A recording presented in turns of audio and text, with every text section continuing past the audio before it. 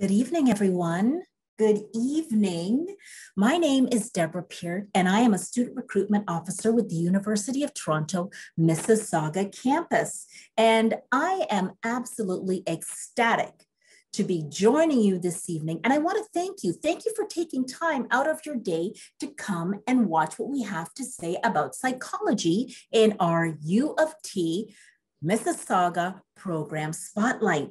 So now it's very important that the first thing we do is in fact do a land acknowledgement. So if we could do a quick land acknowledgement, had it right there, Jodie. Jodie's with us. I'm going to introduce Jodie in a second. She's got this. So I'd like to do a quick land acknowledgement to acknowledge the land that we are on currently. So we wish to acknowledge this land on which the University of Toronto operates. For thousands of years, it has been the traditional land of the Huron-Wendat, the Seneca, and most recently, the Mississaugas of the Credit River. Today, this meeting place is still the home to many Indigenous people from across Turtle Island, and we are grateful to have the opportunity to work on this land. Now, once again, I'm Deborah Peart. I am a student recruit recruitment officer with the University of Toronto, Mississauga. And this evening, we are spotlighting psychology. And we're going to be joined by experts within psychology who want to share with you the programs that they have. Now, we have Jodie. Jodie, how are you? Jodie is the academic counselor for psychology we also have with us a little bit later on, so Jodie's going to present information about psychology. Then a little bit later on, we're going to have Professor Graham, who's going to explain to you what the lab is like for psychology as well, what your laboratory experience will be. Then after Professor Graham, we're going to be hearing from the student panel. We've got Joyce, we've got Vanessa, and we have Sophia, who's going to be talking about their student experience in psychology. And I don't want to forget, Marigrace is also on the back end as well, who's going to be providing information about psychology. Now, I really want to encourage you to put your questions into the Q&A. Let us know what your questions are because I've got Alicia. She's in the background and she's going to be answering questions for you with regard to admissions. And she's also going to be passing questions on to me to ask the panelists a little bit later on. So, Jodie, are you ready to get started? Uh, yes, I am. Welcome. Thank you, Deborah. That was a great introduction. I'll be back later, Jodie. Great. Thank you. Uh, so yes, thank you for uh, taking the time tonight, in this beautiful day, uh, to sit and listen to what we have to say. Um, so you probably research psychology, I hope, uh, at UTM. We are science. And you'll see here, these are just areas of study. So we have like 27 full-time faculty that actually do active research in psychology you know, their peer reviews, they have active labs, they have grants. So these are, you're working with top-notch scientists working in the field of psychology uh, with current events, what's going on with COVID, they're, they're looking into that. Uh, but our areas of study, so we have, you know, faculty specialists in the developmental area, neuroscience, health and well-being, perception cognition. So when you when you come here, you're going to get a big, broad experience of psychology, as a science and uh, really kind of understand pretty much yourself. I mean, Jeff will get into that when he talks about the labs on, on what we kind of go over in psychology. Um, but just so you can maybe take a screenshot of this, so you can reach out to me at any time. I'm available all year round and I'm available all summer. If you have any questions with regards to you, your courses or what um, areas of study you might be interested in, you can contact me at any time. Uh, Marigrace is our undergraduate assistant, uh, so she worked with me closely to assist uh, all the students and the faculty. She's also the Psych 100 coordinator. So Psych 100 is our first year psychology course. We only have one first year psychology course, so this will be it. This will be your one credit. This is all you'll need to take to ever get into a psychology program that's just regular psychology. If you wanted to get into something else, neuroscience or exceptionality, you would need to maybe take different other first year courses. So Psych 100, and then you can populate your, your other courses with whatever else you're interested in or what, what you're coming to U, UTM to study. So uh, what, what do I need from high school? So you probably already have gone through this. You've probably been screened, but if you, you, you didn't apply through a psych stream and you're still interested, uh, you just need the 4U biology, the 4U advanced functions or equivalent to wherever you're taking high school. So if you're not sure what the equivalent are uh, admissions, we'll be happy to help you to look at your record to make sure you do have those high school prerequisites. The minimum grade of 70, that's for admissions. I mean, we don't look at that uh, when you're taking our courses, we don't look at your high school grades, but that's just something that when these are required courses for admission that they, you have to have the minimum 70. Uh, and what degree do you get? So we are science. So unfortunately, U of T doesn't offer uh, an arts, a BA in psychology. We are hard science. So we are kind of the, under the umbrella of life sciences. So you will get a, a bachelor honors, honors bachelor of science if you complete a psychology specialist or a psychology major. So for sure you would get the honors bachelor of science. Uh, so what programs do we offer? We have an exceptionality in human learning. So that's more applied and, works with uh, students with giftedness, disabilities, uh, and it goes, you do courses in sociology, biology, anthropology. So it's a very broad program. It's only offered as a specialist, but you know, we a lot of students who get into that, they, they go into maybe clinical psychology. We offer our neuroscience program and then our psychology general program. So um, specialists uh, for our program, so out of your 20 credits that you need to complete to get your degree, it ranges between these specialists, they range between 10 to 12 credits that would take up your 20. Uh, if you want to do a major, you would just do a double major, and that's only six and a half out of your 20. And then you could, you know, pick another major that would complement that, or something that's just totally different, like English, and you just want to complement that with your English studies. So you could do biology, sociology, economics, you know, the, it's a broad range of double majors. Majority of the students, about 80% of the students at UTM do, do, do, sorry, do double majors just because you're getting that broad experience at the undergraduate level. You want to get as much education and background as possible and then start focusing on uh, what you want to do after you graduate, whether it be higher education or go into your, your career. And then we do offer a minor, and these are just students who are just really interested in psychology and they just want to get more information in the second and third year courses. And that is, uh, so that's about four credits out of your, your, your 20. Okay.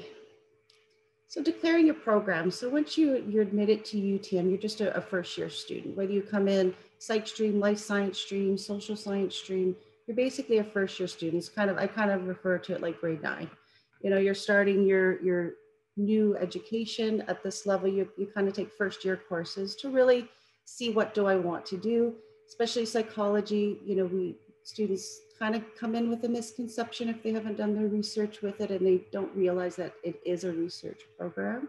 You do have to do statistics. Your, your class, your courses will have a research paper component with pretty much every single class at first year, second, third year. Uh, so that's why we the, the, we only have the one first year course, so you get an idea of really what you're going to experience as you move forward in the psychology program. So these are just requirements to get into these programs after your first year. So if you wanted to do a minor, you'd need to get at least a 61 in your first year psychology course with an annual GPA of 2.0, which is all of your courses that you take for the, your first year. For the major, you need at least a 64 uh, same GPA. And then the specialist, these are what you would go into after your second year. So then you would do another year of psychology courses. You, make sure you take the requirements that are required. Then we would assess you and you, you'd need a 77 and a 3.0 GPA. The reason we do the specialist at the second year is coming after first year, you may get like a 90 in psychology. You're, you know, you're, you think you're very strong then as you progress and you start doing statistics and you start doing more research in it, it maybe that's really not your strength. So we found students, once they do a second year, they really have a really good idea of what they will do. And that's when they decide if they want to maybe opt out of the major and go into the specialist. But we walk you through all of that with, with registrar's office, departments, we have information sessions. This isn't something you really need to worry about right now it's just, I always say, come in, enjoy your experience, enjoy first year psych, take as much out of it as possible, and then start making your decisions and then start worrying about these grades.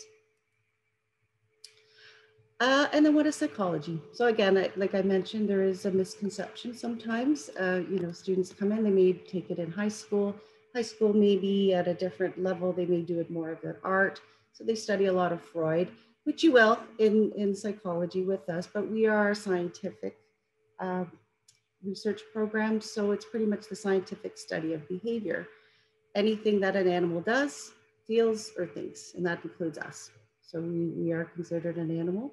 So basically, you know, you, you have these questions. Usually people who come into psychology, they have that first uh, questions, you know, why do infants learn, how do they learn language? Uh, how does social status change the brain?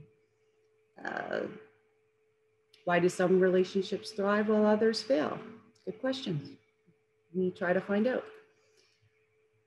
Can music make you smarter? I mean, that's something that I think has been studied for a very long time. And I think there is no real data to say for sure, but we, we do say the earlier you start that, you know, your IQ tends to be a bit higher, but that's up for debate. You can prove me wrong.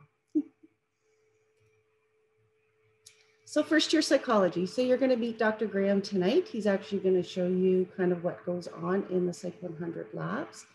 Uh, so Dr. Dax, he does, does your lectures. So for Psych 100, you will meet once a week for two hours in a class with Dax. He will go over the topics of the, the course, break it down to you, explain it.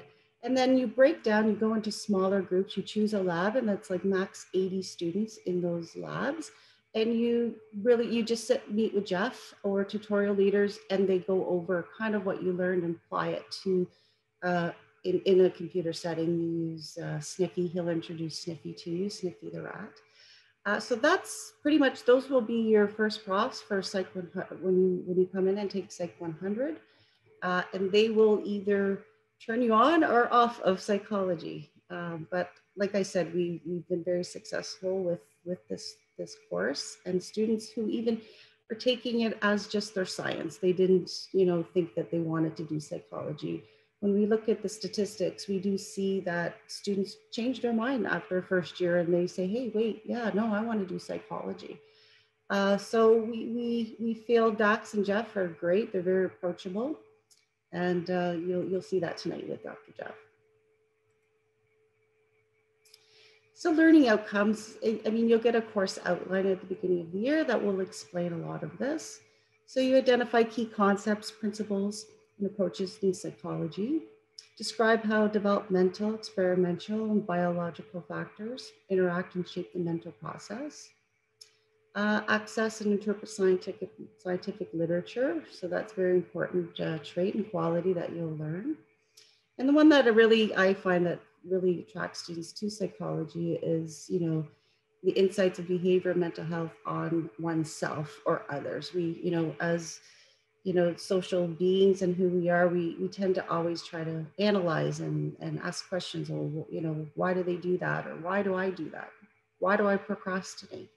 You know so the, the I, I, find people who come into psychology it's it's those everyday questions that they ask themselves or family members that maybe have mental illness and they, they really want to get a scientific understanding of of why.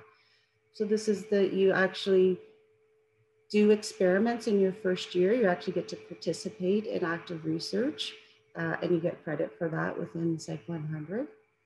And the topics we do perception, uh, consciousness, memory and cognition, motivation, personality, intelligence, psychological disorders, treatments, everything and anything. So it's a very broad scientific uh, overview of psychology and they, we do go back into the past, but we do a lot of active current research. So it's very trendy and uh, interesting to, to all the students who are coming to learn. Uh, so yeah, you get to participate in research very early in psychology. And so after your first year, you can apply to a research opportunity course. So our faculty list, you know, they have projects that they, you, you could maybe apply to working in their lab and contributing to those projects. And then we have independent research projects in your third and fourth year, uh, thesis in your fourth year if you choose to do a specialist or you want to go to graduate school and you need that, that criteria. Uh, we have a, a, placement course in exceptionality in, in human learning, uh, which is done in your fourth year. And, and, majors can do those as well. You don't have to be a specialist to, to do these courses. And then careers. So careers, you know, especially in psychology, uh, as a parent, uh, you know, parents always say, psychology, what, what kind of job can you get with that? What are you going to do with that? You know, there's, I don't, you know, you're not a teacher, you're not a doctor, you're not a lawyer.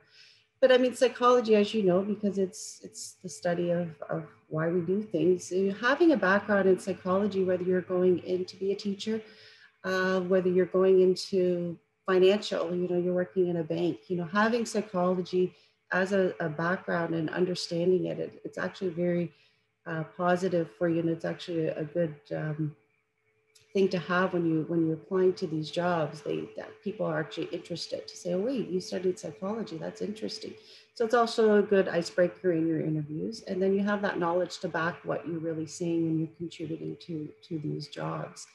But you know, you go, you can go into clinical and counseling, uh, social work, drug and alcohol abuse counselor, research assistant, a police officer, probation officer. You can get into forensics, uh, health psychology. So it's it's a very broad range.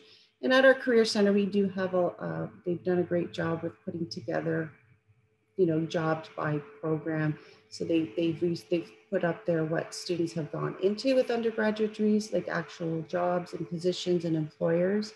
So there's actually, you know, I think it's a very good thing to have, whether even just as an undergrad, that you're you, you do kind of have a step ahead. Some students who are just coming out with maybe a BA, having that psychology as your um, under your belt is, you know, we found that uh, employers really appreciate it. So that's it for me. I just, I, I know I went very quickly, but I just want to give uh, the panel and Dr. Jeff more opportunity to speak. But if there is any questions, I, I, I can answer them real quick. If not, we can go on to Jeff. So, uh, Jodie, I don't think we have any questions, but I want to say something to everyone. Jodie would be your academic advisor. And she is an absolute expert when it comes to psychology. Jodie holds the keys of knowledge. Jodie, thank you very much. Thank you, and Deborah. and Jodie's going to be coming back. So please, if you don't have any questions for her right now, just remember you can throw them in to the Q&A. So now we have Professor Graham, who's going to be talking about your lab experience in psychology, and I'll be back later on. Hello, everybody. I have a slideshow prepared for you. Uh, I've um, my name's Dr. Jeff Graham. I've been running the labs in Psych 100 at UTM for, for a few years now. And um, we have a dedicated computer lab. This was this is an older picture. We have uh, 85 iMacs in Deerfield Hall, and my office is right beside there. What we do in intro psych is we want to let you know how we study the science of behavior. And it boils down to learning how to do experiments. Essentially, we want to be able to prove causation. We want to be able to test our theories. So we actually have you come every other week for 10 labs. Um, and I'm going to just give you a little sampler of the labs that we do in Psych 100. It's a lot of fun when I have all 84 people in the lab because I can sort of read eyeballs and see how people are understanding. Um, but this year we've been doing it on Zoom and it's working very well. I'm hoping we'll see you guys in intro psych on campus at UTM in the fall, but we're still we're still praying for that. So let me explain that to do research methods, we want to essentially have you experience an, an experiment, collect some data on yourself, graph your results for topics that kind of parallel what you're reading about in, in the textbook and you're hearing from Professor Dax Urbszat in his lectures. And so in the first term, we have five labs. That's every other week. And it's a two hour lab where you have uh, a little bit of an introduction that's that I'm gonna uh, give you a little bit of a taste of.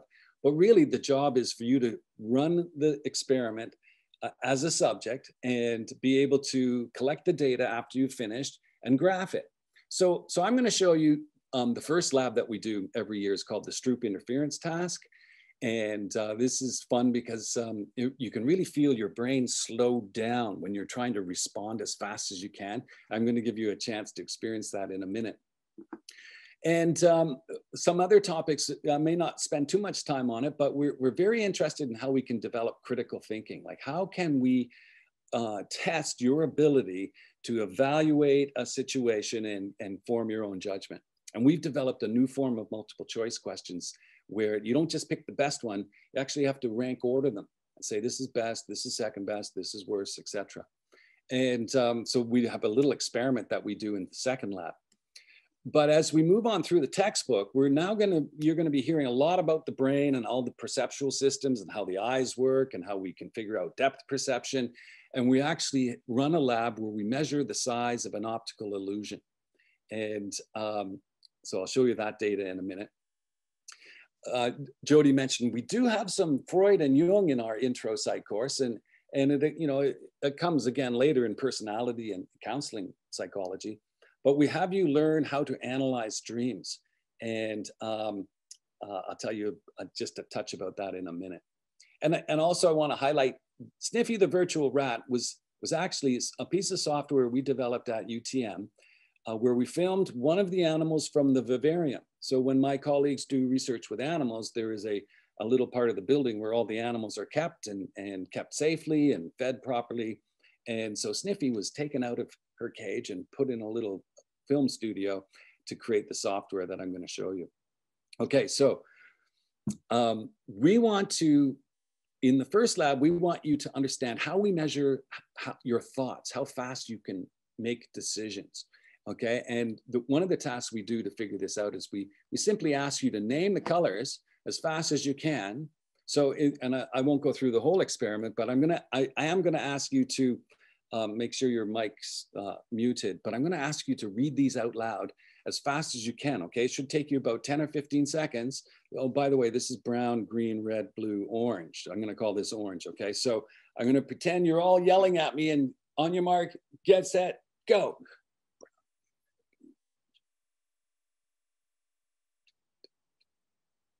Orange, red, stop the clock. Okay, so if you had finished then, it'd probably take you about 10 seconds. Um, but now I'm going to ask you to do the same thing. I want you to read the color of the ink out loud. Okay, I know I can't hear you, but uh, when I move to the next screen, I want you to name the color of the ink as fast as you can. Here we go. Green, orange, brown, blue. And what I'm hoping you're experiencing is the same thing that I experience every time I do that, that for some reason, when I want to say green, my brain has already processed the word orange, and sometimes I say grorange. And that's not right. You have to actually slow down long enough to be able to say the exact color word that you want. Okay, so I'm sure many of you have seen examples of the color word interference task before, and we have six different conditions. And when we're finished, we, we have reaction times for um, you know how fast you can name the ink color all by itself and how fast you can name a word all by itself. But the critical conditions are um, this the high bar here shows you that we're really slowed down when we have to name the ink color when the word doesn't match. Okay, so as a cognitive psychologist, I got my PhD at Waterloo studying children's arithmetic uh, and the processes involved in, in mathematics, learning mathematics. And um, so I, I have, um, I'm interested in how do we store information? How do we retrieve information? And we have a number of different experiments that highlight those. Okay, so that's the first lab. Uh, usually this is finished by the end of September.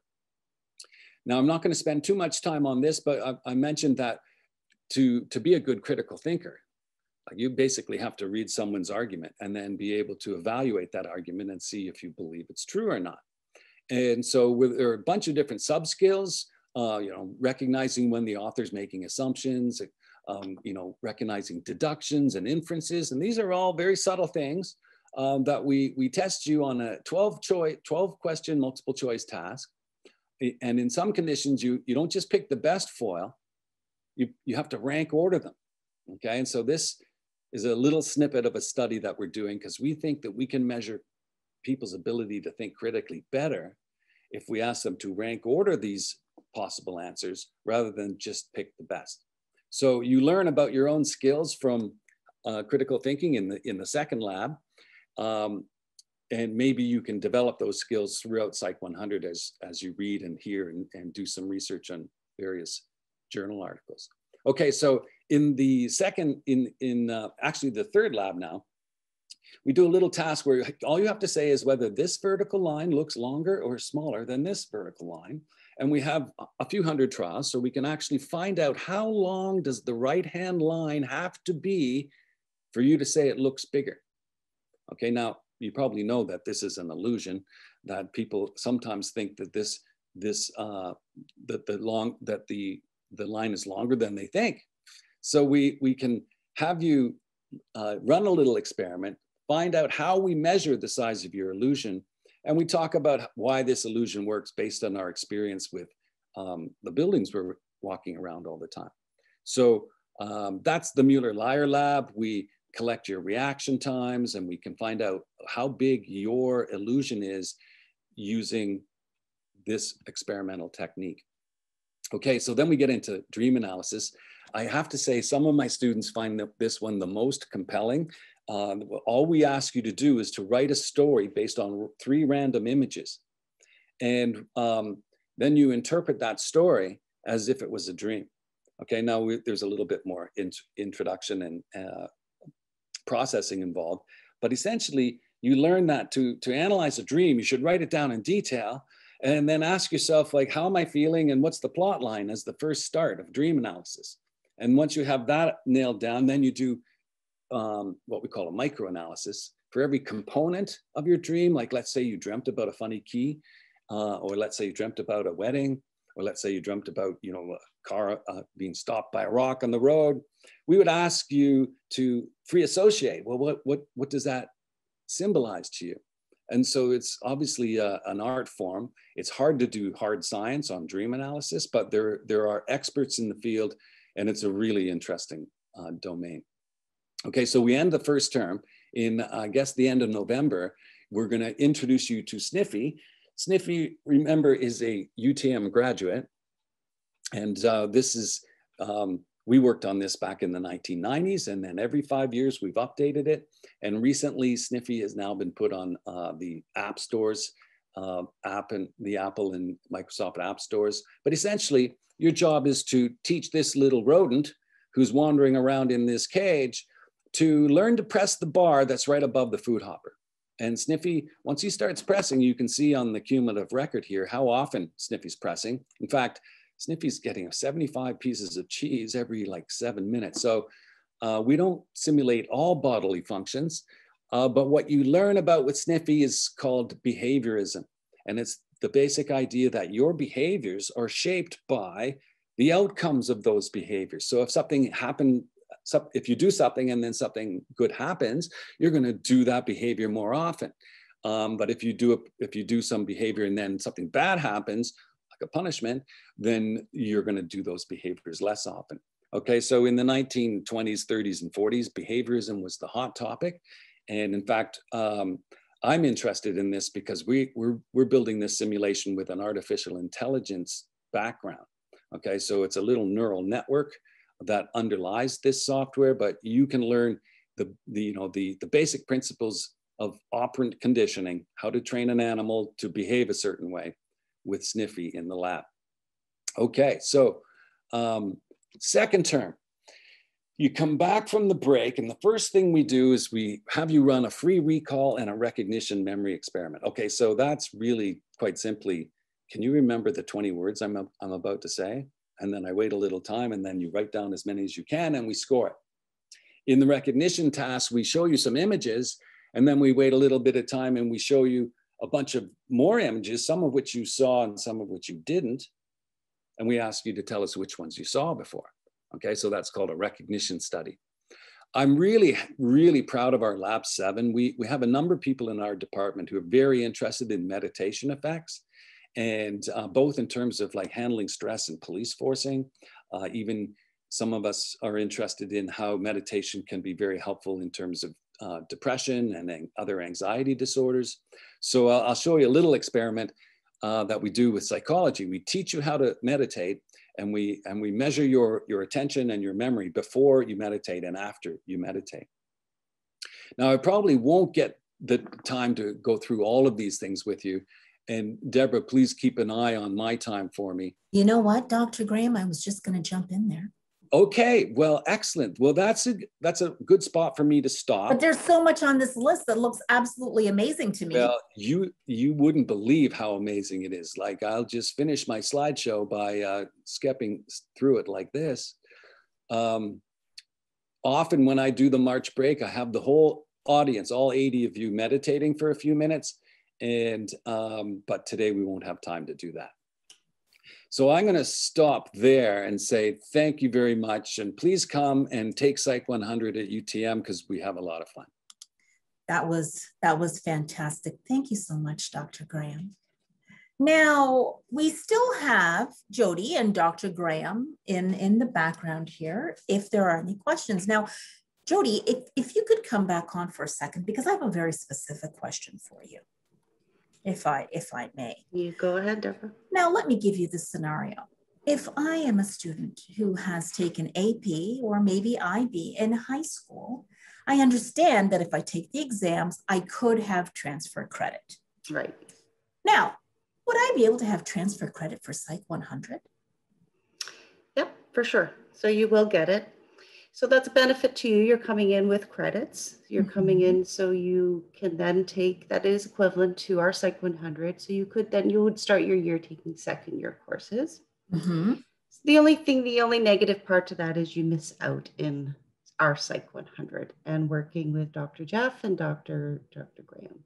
Exactly. So Look again, we just saw, right? Right. Right. So we we you know we're one of the only programs left in uh, Canada that offers Psych 100 with a lab component.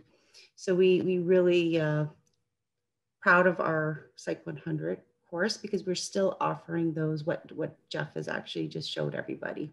It's very fun. They're very interactive, and you start learning about yourself and start uh, you know Sniffy's really fun too. We're very proud of Sniffy. That's wonderful. So yes, definitely, it is equivalent, and that's the choice that you make. You, you're, you know, you, we don't want to hold you back, and we don't. You will still have a great experience coming in, having that as a prerequisite. You can then take the second year courses. You would just start your second year courses. So your first course, you know, your courses would be like Introduction to Developmental Psychology. So that might be one lecture in Psych 100. That will be a full class for you that you're just learning Introduction to Developmental. So, and you will have the background as long as you have the high school prerequisites and you did do the psychology, you will have the background and you will be able to succeed. Yeah, like I said, the only downfall is to, to miss out having that first year experience that the other students will have. And I'm hoping that maybe Alicia, if you haven't already, if you could go into the chat and maybe put up the academic calendar and program plans for psychology in the chat. So then a student could see what the courses are they could possibly take in second year. Thank you so much, Jodie. Great. Now we're going to change gears, everybody. We're going to switch up gears, and now we're going to speak with current students in psychology. I do have a student panel who's joined me. Now I've got Joyce. I have Vanessa. Joyce, Vanessa, are you there? And Sophia is there. There we, excellent. I see everybody. How's everybody doing this evening? I'm doing fabulous. So ex- wonderful. So excited to hear about your experiences. So, Joyce, can you first start and tell us about yourself? Sure. Um, so I'm Joyce Ann, but I usually go by Annie. Um, but I'll turn around if you call me Joyce Ann anyway. and I'm currently in my fifth year, and I'm doing a psych specialist with a criminology major. And I'm currently in my fifth year. Um, fun fact about me is that I loved UTM so much that even though I completed all my credits for last last year, I came back just to do the thesis course, uh, just because I really love the psychology uh, department and research component into it. And I wanted to see how it kind of portrays before I go into grad school. So, yeah, that's me. that makes perfect sense to me. no argument here. I can understand why you're going to come back to UTM. Sophia, what about you? Tell us about yourself. Hi, uh, so I'm Sophie and I'm in my fourth year, also in the psychology program. Like Joyce, I'm doing a psychology specialist. I'm not quite as ambitious as her. I'm doing a biology minor, not a major. Um, yeah, I've been involved in a lot of the research at UTM as well as the practicum. So any questions about that, let me know. And I'm excited to speak with all of you and hopefully answer some questions. Very exciting. And Vanessa, tell us about yourself. So um, I'm also in my fifth year of undergrad. Um, just like uh, Joyce, I also uh, wanted to come back just to do research. I also I took regular courses as well, but the main goal was to do research. Um, I'm a double major in psychology and health science. Um, that wasn't the original plan, but that's where I am now, and uh, I absolutely love psychology. I my goal is to be a professor in psychology, so that's uh, that's where we're setting the bar with UTM. Wonderful. Thank you so much for that. Now, Vanessa, I just have to go back. You were saying that you you want to be a, a professor. It brings me to the question about faculty members. Now, we saw Dr. Graham. He sounds quite knowledgeable to me. Sounds like an excellent experience. But what about the other faculty members in psychology? Like uh, the my experience with my professors. Mm-hmm. I haven't had one bad experience. And I'm not, I know you might be, oh my gosh, she's just saying that. I honestly can speak for every psychology professor I've come into contact with has been great. They've all been accommodating, especially, you know, as many people do. Um, you know, you go through trials and, and adversity throughout your, it, that's how life is. And thankfully, the professors I had throughout my years in, in university were accommodating. So I never ended up getting a bad mark or anything like that. So that was that was great. And also I a lot of the faculty members, especially if you just ask, they're very well, they're like, yeah, come help me. If you want to do research, come. Great, awesome. Yeah, so they're very everybody's very welcoming. Uh, the um, psychology department is amazing. Wonderful. And Annie, I'm going to call you Annie. Annie, did you ever take advantage of any office hours that that faculty members may have had, and what came out of that? Yeah, definitely. Um, to be honest, like when I first came to UTM, I didn't do office hours at all because it was very like scary to me. Um, talking to a professor one on one, but as I kind of grew uh wiser, I will say, I started going to office hours and i really learned that like you get closer with your professors throughout that way especially for like big lectures because like psych 100 it's quite a big class. But honestly like professor dax is very like nice. Uh he's very open during his office hours and like his ah he's more willing to like talk about like stuff during his office hours because he has the time.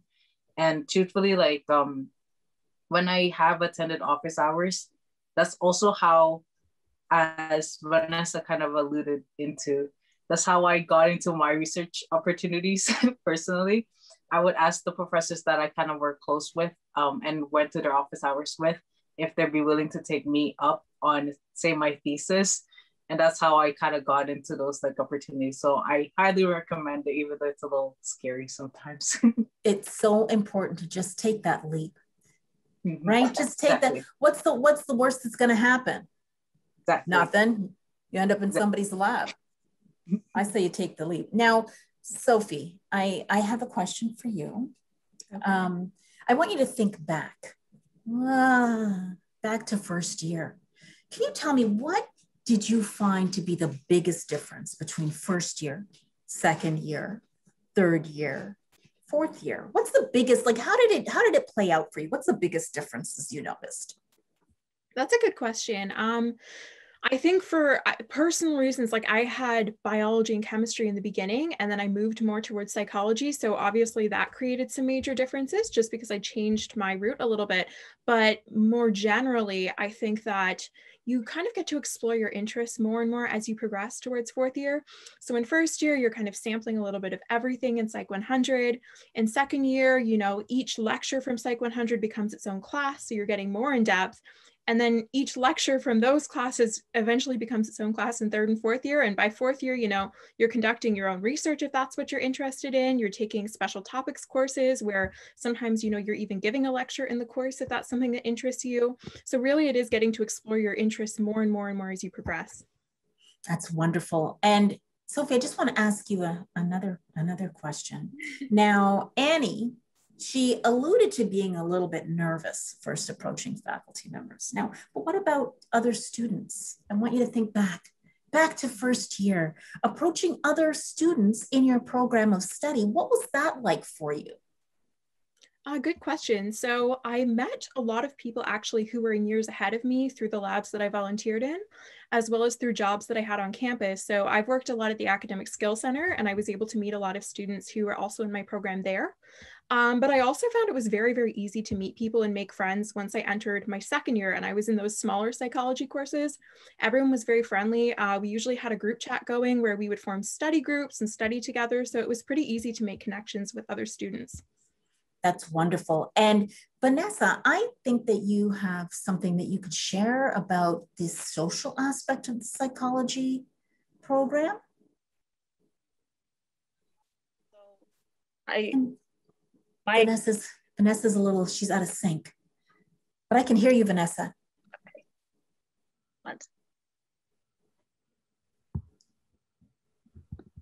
Okay, so my, let me get this. My uh, laptop is being a little wonky, so I, that's why you. of course it is, me. naturally. Um, but the social aspect, um, so one of the things I very, very fond of is uh, the Psychology Association of Undergraduate Students at Erindale. I got involved in my fourth year um, and I ended up being the president of PAUSE this year uh, in my fifth year. It is one of the most rewarding experiences I have ever had in the five years, I would say even going back into like since I was 14, like through high school to university. Um, and just to, I, I want to let you all know this. I this year I've been implemented a mentorship program into uh, that into PAUSE. It, that's sorry, the acronym Pause is. Uh, it's just easier to say that. I've implemented a mentorship program so that first years can connect with upper year students and kind of get the rundown of what it's really like in the later years of psychology. And the best part is because of COVID, especially this year, a lot of students um, in first year they didn't get the experience that you would if you were first year pre-COVID. Um, so that was kind of the, the bigger goal as well. Um, once you get back onto campus, or if there's some sort of hybrid that happens this fall or whatever, whichever way school looks this year, um, I wanted to make sure that students were prepared and they were given the, the proper uh, tools because I didn't have that. And that was something that I wish I, I had coming into UTM, I wouldn't have made certain decisions and I would have made other decisions earlier and all that fun stuff.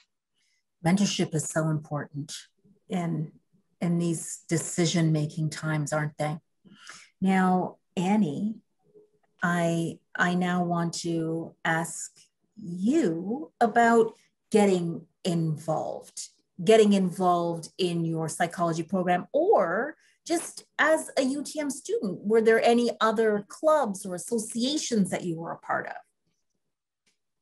Yeah. Um, to be honest, like I was, I'm the student who really loves to get involved. So I've been a part of like a lot of clubs and societies, including PAUSE actually, um, last year, I think. so yeah, like honestly, like um, to me, there's no limitation, even though you're a psychology student. I was the vice president for the pre-med club. So like in my opinion, there's really like no limitation as to your program and like what position you want in any club or society. actually in a society might be a little difficult. you might need to be in a program, but especially for clubs, definitely for clubs, you don't have to be like a specific program. Um, I think for the most part, like clubs, like different clubs, um, generally have like different uh events that you can participate in. And to be honest, like I find them like the most fun. Like uh, some, I've been a part of some clubs that will have like culture night, and then some clubs will have like uh, art art night. And um, a current club I'm in, um, Psych Talks, actually just holds like psychology discussions surrounding any any topic that you want that's revolving psychology so it can even even be like video games and psychology. It's that big and you can like talk about anything you want. Basically as long as it's a little bit relatable to psychology. So i definitely like honestly i would truly recommend like clubs if you want to have like a very social aspect into your university career because i found them like the most fun and rewarding. And personally like when i talk to like um employers a lot of the times they bring up that I was a part of this club because I had this position and I can exemplify that I can do this thing because I've had this position before. For instance, like I can I can say that I've hold I've held like events before. I've created events before because that was my task as like um, as an event coordinator before. So it's like definitely like not just like resume building up but also very fun in my opinion. That's that is absolutely amazing. And this whole part, we're talking about this social aspect because this is your network, right? Mm-hmm. Faculty members, your, your fellow students are a huge part of your network. And these are relationships you're going to be developing essentially for life. Now, I now have to ask the question. You're either in fourth year or fifth year. I'm wondering what is it that you're planning on doing after you graduate? Vanessa, what is it? What's your plan? What do you what do you have going on? What are you thinking about? I actually this is kind of perfect, uh, perfect question for me. Um, and I'm saying this because I don't want anybody to feel like rejection stops them.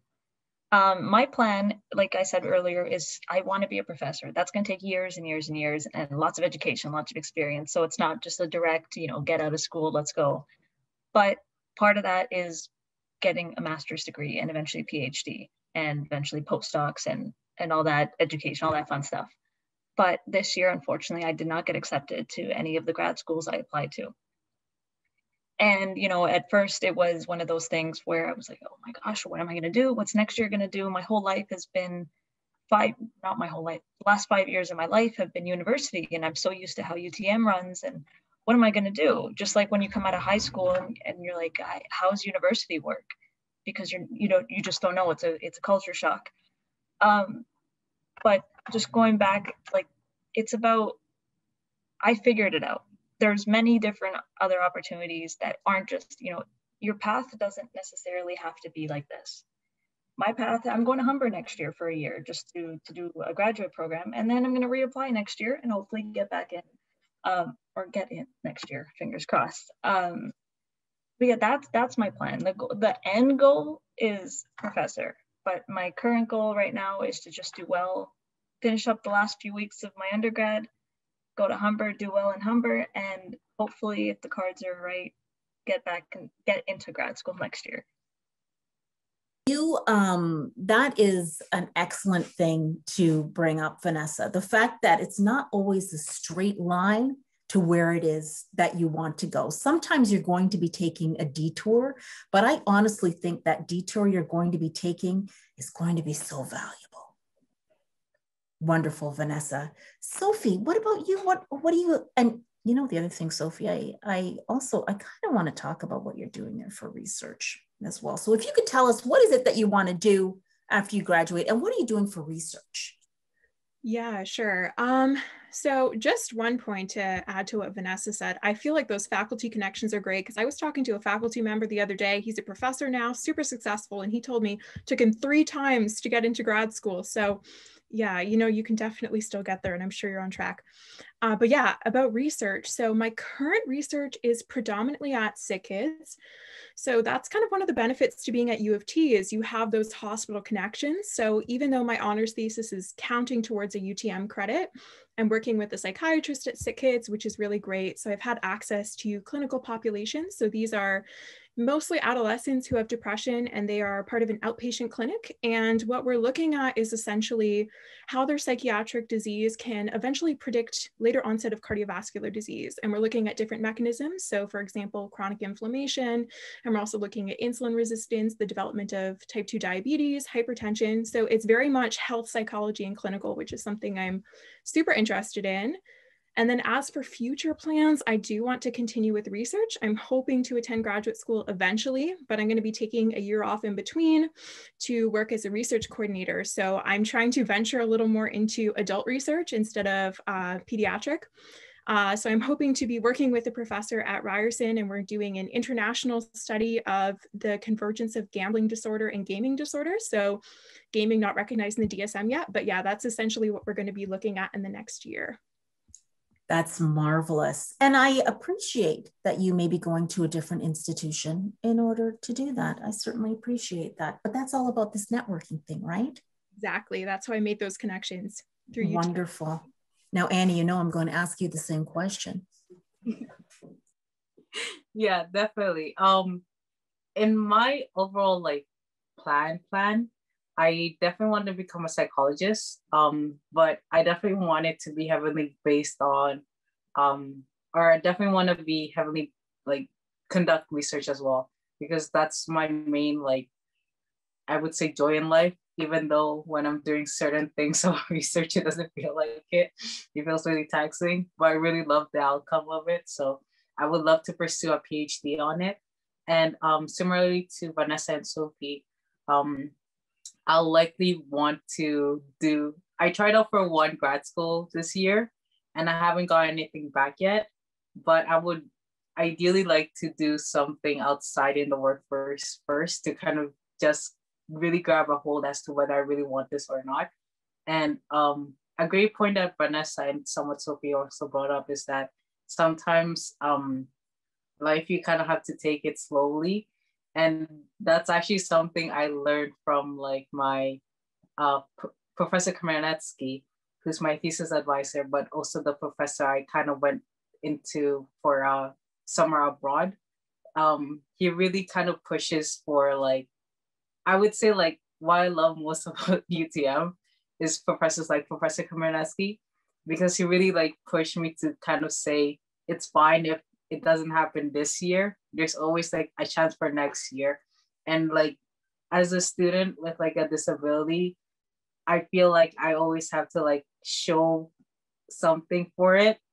And when i get like rejected sometimes it feels like it's on me rather than like it's not it's just for not this year. So i definitely like love hearing that from him. And as vanessa like kind of reiterate, reiterate again and again is that it might just not be this year. It can happen like the next years. It's completely fine. And I might even be even happier because I did something else for the next following years rather than going straight into it. But yeah. that encouragement is absolutely amazing. And I've heard that about our faculty members as well, that they're very encouraging. And that when you start having those conversations with them, they have ideas, uh, knowledge, things that you had no idea existed. And they also know other professors at other institutions. Am I correct? Most certainly. Now, I have to ask this question. You're all at UTM. Why? Why did you come to why did you come to UTM? Vanessa, why did you come to UTM? I will give you the honest, honest answer first, and mm-hmm. then the other answers as well. I live 10 minutes away from here. So I was like, U of T, 10 minutes commute, perfect. That was the one of the, the main things for me. It was just close. But also, U of T, like Jodie mentioned earlier, has I could get a bachelor's of science. That was the goal. I love science and and the program I applied into was life sciences. At the time, there was no direct neuroscience stream um, at UTM. this is 2016, so it's just really new. But um, at the time, there was no neuroscience, so I was like, well, I'll do life sciences. And I'll be honest with you, my actual plan was I wanted to be a, um, I want to be double major in bio and chemistry. And uh, I took, I'm not trying to scare anybody, I took first year chemistry and I realized I can't do this at higher levels. So I took psychology over the summer actually. So I didn't even get the full year experience. I did it over six weeks. Um, best decision I ever made. But um, yeah, that was the I chose UTM because it was close and I felt like I could work with what UTM was offering. And I didn't, I'll, I'll be honest with you, uh, a lot of people, I, th- I think my biggest, biggest advice to anybody is when you get into university, you're kind of star- starstruck. You're like, wow, this lecture hall is so big and I'm not used to learning like this. How do I take notes? Get involved in any way, shape, or form. It does not have to be in research. There's so many other things that you can do on campus that are not research based. And there's not just societies, also there's clubs and societies. You can be part of so many things. And it's not even just for the social aspect. It's the fact that the more you're you're tied to the university, I'll give you an example. If you would have met me three years ago, second year, I would have been like, I'll transfer schools, who cares? But now that I've kind of tied myself to it's not just going to school, learning, and then leaving, and I've kind of tied myself to the, the campus, I'm really sad that I can't go back next year. And I don't know, like, if I could go and finish my education all the way through at UTM and then be employed at UTM, that would be A plus. But that's fortunately not what's going to happen. But it, yeah, I see everybody nodding, but like that's that's how that's how I feel about it. You know, I I really recommend getting involved in whichever way you can. Don't stress yourself out because that's not good either. First year is not hard, but when you're not used to it, it's it can be a little daunting. Um, and I actually did see in the Q and A, what do you do if you're nervous? Just go, just do it, just start. It those nerves will be gone. Just I remember when I went to Frosh, I was like, I don't know what to do here it's fine. It'll it'll it'll go away. Just get in there, sit yourself in a seat. Hopefully this is COVID doesn't stop this, but or sit yourself in your bed with the Zoom on and just immerse yourself into the experience and really take as much as you can because these years will go by really fast. Really, that's, really. That's amazing. And also now, Vanessa, you brought up the resource of, of the academic skills center and i'm just wondering did anybody else take advantage of that resource or any other type of resource that's available at utm to help them through annie i see you shaking your head tell me yeah i actually use them really frequently i use them almost like in a i don't want to say like bi-weekly but definitely like every time i have like a paper due i'm like I'm gonna I'm gonna like book them real quick, especially because like sometimes spots fill up fast. Um, I will say that they are so like helpful because like to be honest, like um when I was when I was starting off uh, psychology, I wasn't the best student.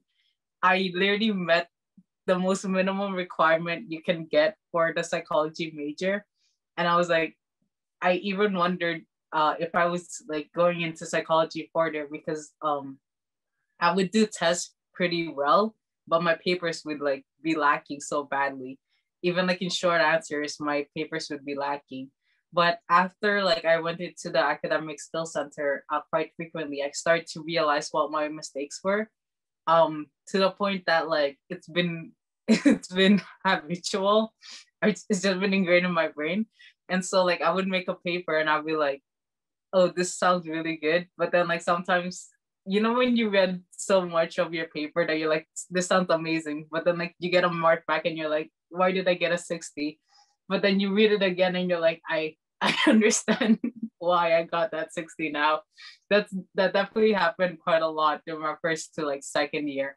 But after like going to the um, academic skill center like they really kind of show you i wouldn't say just like grammatical errors and stuff like that but they really show you like um where you can like emphasize your point and say like this would this paragraph would be better situated before or after this and kind of like ensuring that you elaborate enough in your own ideas and not just providing like evidence one by one because that's what I used to do. I thought you just had to like point by point, this is my evidence and not really give like an elaboration as to why.